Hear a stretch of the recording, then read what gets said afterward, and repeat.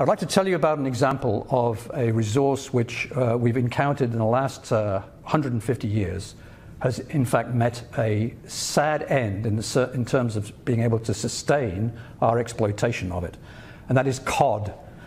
And there is a wonderful book written by Mark Kurlansky about the history of cod fishing. So it's a simple book title, and the author is Kurlansky.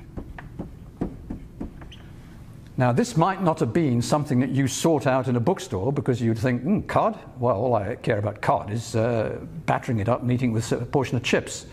But for years, it was a very important pro- source of protein in Western Europe and other parts of the world.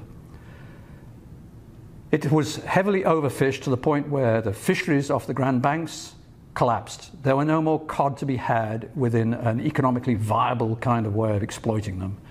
And the reason there were no more to be had was because fundamentally the rate of depletion of the stock exceeded the rate of replenishment.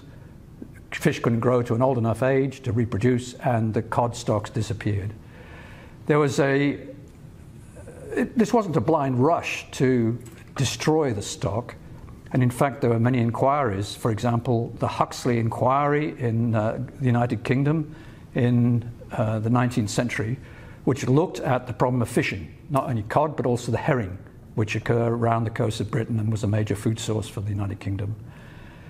What Huxley originally came out with was every technical improvement that's been introduced into the fishing fleets, such as transitioning from sail to steam, from nets that grew steadily larger, uh, winch driven uh, uh, nets that you could bring in with heavier and heavier loads, he pointed out or his team pointed out, that every technical improvement that had been eh, eh, put in place led to increases in the catches.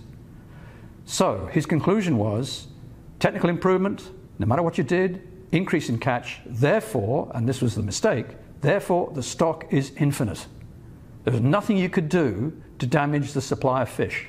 Well, that proved sadly to be an error. All that had happened was the uh, rate of depletion had not yet achieved the point of the tipping point the tipping point where the stock can no longer uh, reproduce sustainably.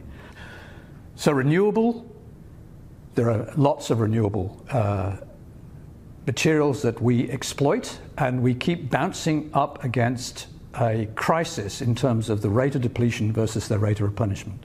You might think that trees, forestry, is the ultimate renewable resource, but there are plenty of ways that you can cut down more trees than they can reproduce. After all, for many trees, you're talking about considerable lifetimes, maybe 10, 20, 50, 100 years.